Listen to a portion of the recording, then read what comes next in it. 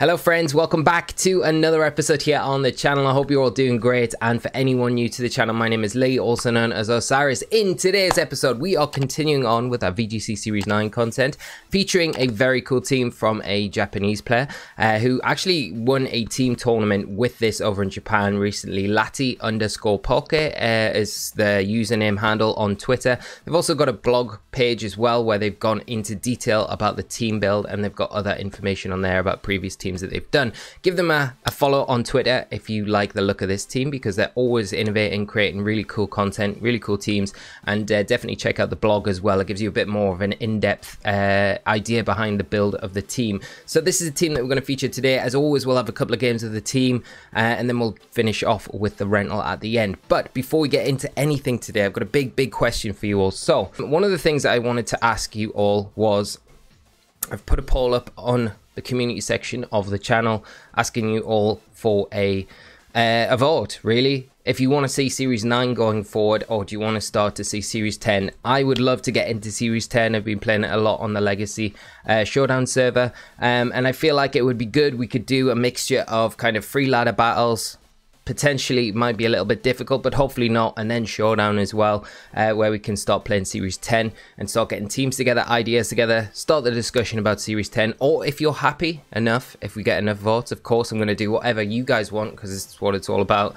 Uh, we'll continue on with Series 9 until the end of July. So it's up to you. But if you do go across to the poll, do drop a vote on it. It would be much appreciated. It gives me an idea of what you guys want to see going forward for the rest of this month because I do understand Series 9 is a little bit still. It's very fun at all the same time, but when you know what the next rule set is and you're looking forward to it, sometimes you feel like I want to put the question out there. So that's what we've done. Also, friends, just before we get into today's episode, this week over on our Patreon, we are starting our Series 10 friendlies. So they're weekly tournaments that we run every single week on a Friday evening, and they are open to anyone to enter. So if you want to get involved and get start your practicing with Series 10, then I will throw up the ID on the screen right now, and you can hop over to the Discord as well. Join the Discord. It will be in the. Let me check which channel it is in. Uh, if you check out the Squad weeklies. Uh, they will be all the information will be in there, the weekly announcements, and then follow along with the tournament, how it's going in the competitive chat or in the weekly tournament chat as well, which is quite a buzz on a Friday evening.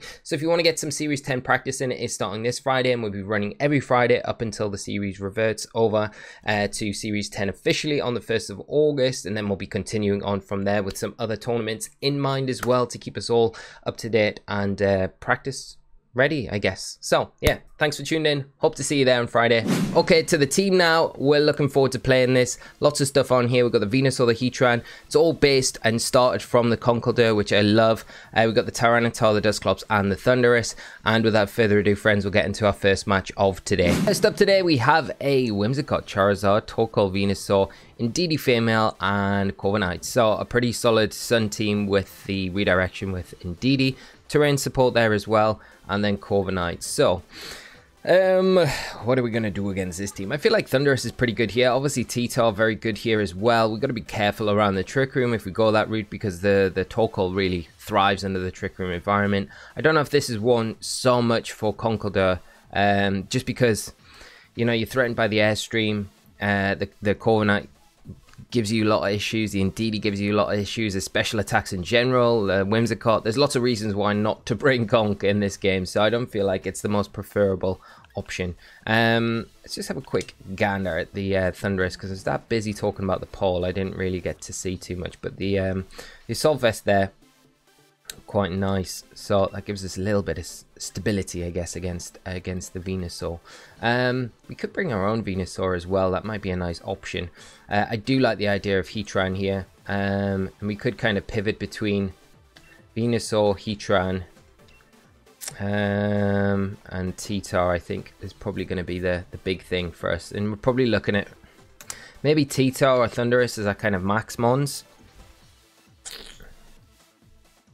But if we can remove the sun, then the Charizard's way less threatening. Uh, Got to worry about Sleep Powder and Venusaur as always in this format. And this is going to be the last time for this month that we'll be playing Dynamax Pokemon. Another reason why a lot of you might want to see the rest of Season 9 out. Um, And I'm gonna be I'm gonna be honest with you right now. I know there's a lot of people that don't like the Dynamax mechanic. I personally like the Dynamax mechanic. I think it's a good mechanic. I think it brings a different element to the game. Um, I didn't like Z moves, um, and I I do like Megas. I do like Megas. I would love to see Megas return in uh, the the Diamond Pearl remakes. I mean that would be phenomenal. But I do like Megas, so I'm not I'm not so so like against them going away. Although I am excited to play a format where it's a bit more like old school Pokemon. Uh, at the same time, I'm not like I'm not like, yeah, it's the best thing ever or it's the worst thing ever, you know? I'm kind of in the middle um, and I'm kind of excited to try format out without it. So, um, but I don't dislike it. Let's uh, let's get the record straight. But it would be great to hear what your opinions are on it as well. Whimsicott Charizard, Tailwind or Sunny Day. I would imagine Sunny Day. Uh, we can go for a max airstream. We've got to keep pace with this thing and let's go for a Sludge Bomb into Whimsicott because we got the Occa Berry, right? They're going to probably Sunny Day, but I think they'll be more obliged to probably Tailwind this turn and then Sunny Day the next turn. So if we can kind of keep track with our pace, at least if the sun does go up, it means Venusaur gets um, the boost. The boost with the sun. But you've got to imagine that Venusaur is the attraction here, which is why we could have maybe switched in Heatran, uh, but I'm too busy talking about um, Dynamax and all that sort of jazz. So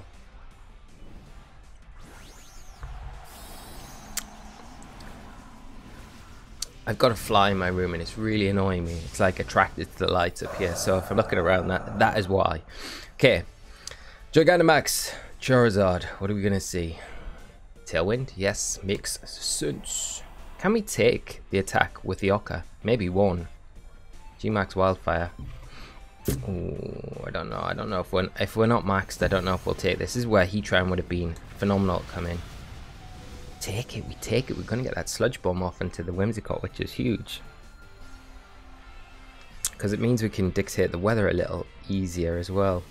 G-Max Wildfire going to take down... Um, I'm going to take down the Venusaur, uh, the residual damage, but I'm hoping that Sludge Bomb. We'll probably see a Sash on the Wimmy. Might be a Jack button though, you know.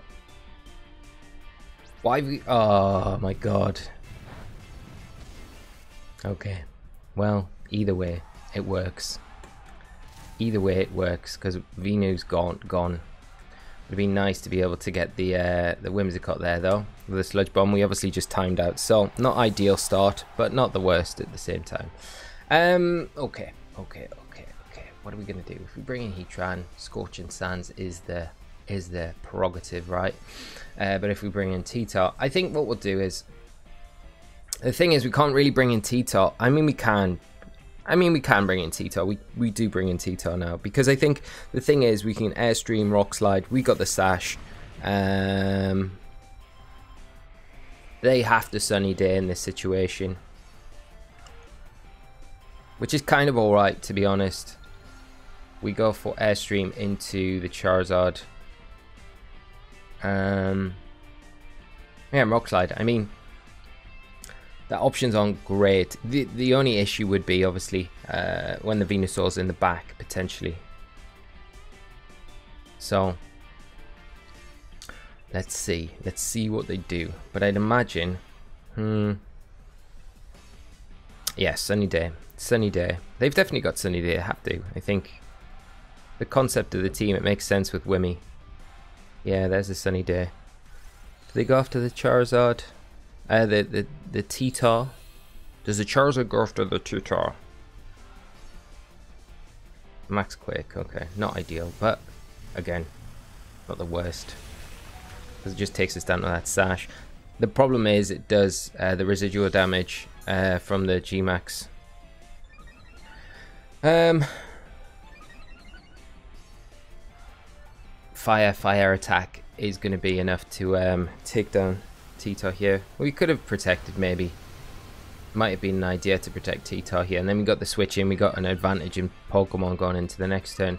But it's nice to be able to kind of get rid of both the Whimsicott and the Charizard. And kind of one fell swoop as well to kind of level the level the scores up going into this next turn. Now they do have Tailwind and they do have the Sun up. So if the Venusaur comes in, it will be faster than our, our, um, our Thundurus, which makes things very tricky for us. Um,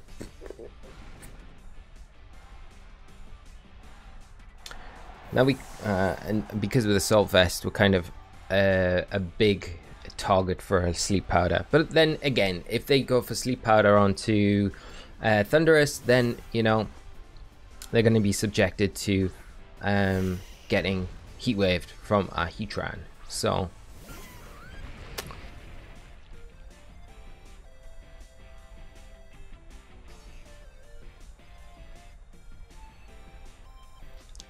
How many turns of Tailwind have they got left? Plenty, I think. Two turns. Okay. They have to sleep out of the Thundurus. They have to. Know it's probably Earth Power into Heatran. But that will give us the opportunity. If they're not sashed, then we got this, I think. Yeah, let's go for Airstream and... Yeah, Heatwave. Just because we got the boost of the sun here. And we need the double target attack, I think. It's probably going to help us out a bit more. There's the Earth Power. Okay, well that's from Venusaur, so I mean we've got this now, I think.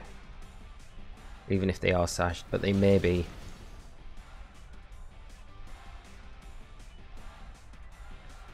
Oh, they're Coba Berry, okay. Uh, do you take this? Maybe not maxed. I like... Yeah, just about. Okay, so the Heat Wave going to help. Uh, the Tailwind doesn't really factor in against the Torkoal because it's so slow and the heat wave should be enough to take down both. Well, it'll take down the Venusaur. It won't take down the Torkoal, but it'll do a good chunk, reduce the damage of a potential um, eruption that could come out from it. Yeah, and then Heatran gonna just sap that, sap that eruption up, which is exactly what we need. And um, obviously the the wildfire residual damage, we don't take any damage on a Heatran, and now we can just go Earth Power and wild charge and that will be game one for today. So a little bit clunky because i'm talking about other things but i'm sure you can you can understand. But you can see the the the, the very good like uh, ability the, the you know how the team can approach um, these hyper offensive like Sun teams well. Uh, and, and, I mean, it's kind of been the th the theme all all series, you know, where we've had like this Defiant th Thundurus with the Assault Vest. It does so well against these teams. Um, and Heatran is really something that I do think is very strong in this series. Uh, and it's it's kind of had like dips and flaws, uh, you know, with with with you know its usage. And I would like to see it have a little bit more of a run in the last kind of uh, end to series uh, 9, but we'll see. Anyway, that was uh, first game. Good game to my opponent, and we'll jump into our next game of the episode. Okay, up next we have Oh, we got another Sun team, but there is a little bit of hail in there, so there is a variation. It is a Charizard, Venusaur, Torkoal, Garchomp, Alolan Ninetales, and Mimikyu. So we do have a Trick Room switch in here. Obviously, with the Mimikyu, is going to have access to Trick Room, so it can set up uh, something like the Torkoal, but predominantly this team's looking for the other side of the coin, the faster side. Um, Garchomp going to be one of those Pokemon that really benefits from the Aurora Veil if you can get it up with the uh, the Ninetales, um, and it will cause us a lot of issues on uh, uh, Tyranitar end. So again, I feel like like Thundurus isn't a bad option to lead with here. Um, But do we go down a trick room route? I don't know if we go down a trick room route. You know, we've got Max Steel Spike. It's going to help us a bunch against uh, the Mimikyu, the Alolan Ninetales uh, with Thundurus. We have to be very careful around that Blizzard, of course, as well. But we do have T-Tar to kind of disrupt that. We've also got Heatran to help us out with the Sun. Um, But we got to bring Conk. The team's all about Conk, isn't it? Can Conk really do that well here? I mean, it can do. It can do some decent stuff, but got to watch out for that Mimikyu in particular. Um, okay, so I think we'll go Heatran. Let's go T-Tar and let's go Conk. Let's bring the Conk to this one. Let's bring Conk. See if we can get it going. Because I know the team, if you read the, the uh, blog post, the uh, the construction of the team kind of all was based and started from the Conkeldurr, which uh, was identified as something that can do very well in this format. So um, it'd be nice to see it doing some work today even though we're kind of forcing it, we are forcing it. But with two games in an episode, sometimes a little bit tricky, right? Okay, well, the Charizard and the Garchomp coming out. Not great for uh, Heatran, gotta say. But, um, Is my opponent going to keep the Charizard in on the field? Maybe. I don't know. It's just you, you know the one thing that you don't want to really do in this situation is allow the the uh, the, the, the Garchomp to get a Swords Dance off. You know, um, or we could go max Airstream into Garchomp and go for. We could just Heat Wave, potentially catch a switch in to the Ninetales uh, and just get some some damage onto the Garchomp if it decides to go for a um, decides to go for a Swords Dance, but it's likely to max here, I think, and go for either a Rock Fall or uh, we might just see Earthquake, you know, next to the Charizard. We may just see Earthquake, like Airstream, Charizard, Earthquake Garchomp. It could be a possibility, you know. But we'll soon find out. We'll soon find out. Here we go. Looks like it's going to be the Garchomp maxing. Oh no, it's a Charizard. Charizard and a Moonball. Nice. Okay, well. Maybe we'll get more damage onto the Garchomp, which is definitely helpful. Get that Airstream. Get some nice fat damage into the Garchomp to start us off. We're going to see Wildfire then. Maybe. Flash Cannon into the Garchomp would have been the better play just to remove it. So there's the Earthquake. We have got the Shuca Berry. Uh, but the Charizard in this situation is kind of forced to um, to go for the Wildfire. Well, the Airstream almost, you know, to keep pace. Um, the Assault Vest, we'll take this pretty comfortably as well, you know. Um, and now the Garchomp in in a in a in a tricky spot because we can we can go for max lightning this turn. No, no, yeah, we could max lightning into the Charizard and just flash cannon into the Garchomp. Because I think then they've got to airstream themselves, really. Which they could do. Okay, well, we're just going to see that max guard come out, which is fine. They're just stalling out our turns, which we don't mind too much. Flash Cannon get rid of the Garchomp. Big Tran. And I do feel like I've been playing a lot of Heatran on the channel recently as well, uh, which might add to the whole emphasis around Heatran. I don't know, I might be a bit biased. I love Heatran, it's definitely one of my favorite legendary Pokemon. And I'm really pleased it's been uh, included included in uh, oh this is this is ideal this because now I think well you know the detractions here but the thing is we've got Tyranitar in the back so we don't really need to worry too much about this Charizard really in all honesty so we can just airstream and go for a heatwave here now the the issue is if the Ninetales decides to protect here now this is a bad play from us but I don't generally see Ninetales don't normally have um, access to protect and they don't normally carry protect. So we're kind of safe in a lot of respects here where we can just make sure that we get rid of it before we can get the aurora veil up. Um, and like I say with the, the, the Tyranitar in the back we don't necessarily worry too much about the Charizard. Um, there's the airstream coming out I'm gonna try and keep pace with this okay well it's the end of our max turns Charizard's kind of done its job. It's not give the speed boost to anything. We've not give the speed boost to anything. We've got the weather kind of won in the back, and uh, it'll all come down to what my opponent's last Pokemon is, I guess. Uh, as we take a bit of chip from the hail, and then we'll have that extra um, wildfire damage as well. Let's bring in the Tito, because it's likely that the, the Thundurus might go down soon we could kind of engineer it to go down. So the Conkeldurr can come in and kind of clean up. Yeah, let's let's try. Let's try and see. I would imagine. Hmm. What are we gonna see? What are we gonna do? We just go. We're not gonna see Conkeldurr this episode. I don't want to like mess around too much, you know. Like there is a part of me now where I'm like, okay, we probably want to um, double in on the the, the, the Charizard here, um, the Torkoal here because it's likely the Charizard protects. Um, or we could go... I tell you what we could do. We could switch into Conkeldurr, but it means probably taking a bunch of damage, like unnecessary damage from the Torkoal, you know? So we're probably better off just rock sliding while charging. The Torkoal probably attacks, the Charizard protects 100%. This is why it would have been better to go into the um, the Torkoal here uh, with the Wild Charge and then the Rock Slide, which would have been probably enough depending on the build of the, uh, the old call to do the business.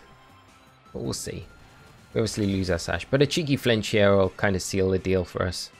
There we go. Get it. Am I the luckiest YouTuber, like, ever? Because, like, I mean, when we ask for it, we get it, don't we? Sash is broken on the T-Tar. Um, and yeah, I mean, uh, the Wild Charge gets the, the, the, the Charizard and uh, the Rock Slide. Single target? It's going to be very close. Gets a second Protect. Can we get a second flinch? Come on, we can do it. This T-Tar's this T-Tar is definitely uh, on the money here. I think we're going to get it. There we go. Let's see that flinch. Ooh, activating. What is it? Figy? Wiki? Not be a Figy. Sitrus. Okay. Body press. no! Okay. Well, we're alright. We're still alright. We got Conk to come in. Thundurus should just have enough health now. Uh, oh, actually, the wildfire's finished, hasn't it? So we're, we're kind of alright. So Conk is going to have its time to shine. It's going to be able to come in and deal with this Torkoal. Wild Charge going to be able to deal with the Charizard. And Conk is going to have a brief appearance the very end. Is it bad that I want to throw Conk up on the um, on the thumbnail for the video. we can't do that. It's like, yeah, it's the uh, the ultimate bait. Well, it's featured for like one turn at the end of the game. It's been a pretty much a Thundurus show today, but I think it's more uh, in line with the, the, team overall, how well it kind of functions. Uh, we didn't really get to see that Trick Room mod today in the team. Conk coming in and getting that Drain Punch. Just, Torkoal just hanging on. Uh, Burning Jealousy going to come out, but we'll be able to take that and then clean up with the Conk because it's pretty fat anyway. So, Thundurus finally gone down after a lot of work and is the last Pokemon, right? Yeah, I was just sketching out for a minute. I'm like, is that the last Pokemon?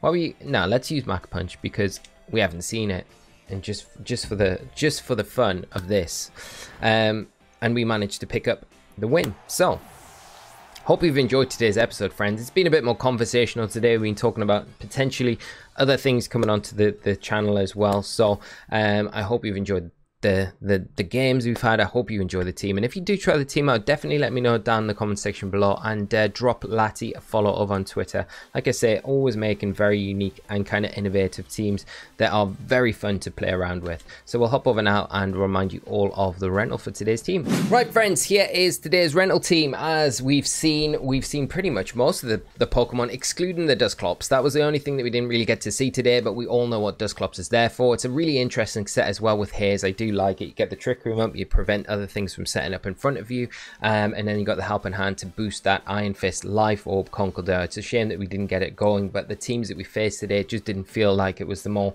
kind of optimal thing to do. And we saw how well things like the Thundurus, the Tyranitar, the Heatran can shut down those Sun teams, and they did a phenomenal job for the most part. Two Sun teams off the bat today, um, so it's not always likely, but it is a common archetype in Series 9, so it's something that you're going to see. And this team handles it really well, and it's got that nice mode to be able to switch around with the Dusclops Conk if you need it as well. Um, and we saw as well the Gmax Wildfire that the Venusaur can take non-maxed as well. It's pretty huge, you know, for Venusaur. If we didn't time out that turn, we probably would have made a bit easier work of that first game where we could have just sludge bombed the Wimmy and probably removed it from the field, especially if we got the poison to overcome the sash there. But we're going to wrap it up there, friends. Hope you've enjoyed today's video. Uh, like I say, leave a comment down below. Let me know your thoughts on Series 10, Dynamax in general. Would love to hear. I know we start the conversation at the start of the episode, so do carry that on. Make sure you check out the poll, have a vote over there. Let me know what you would like to see for the rest of the series. If you'd like to see Series 9 or Series 10, let me know. It'd be great to hear. But I do appreciate each and every one of you. Have a great rest of your day, whatever you're up to, and I'll catch you all for another episode very soon. So until then, friends, take care of yourselves and bye bye.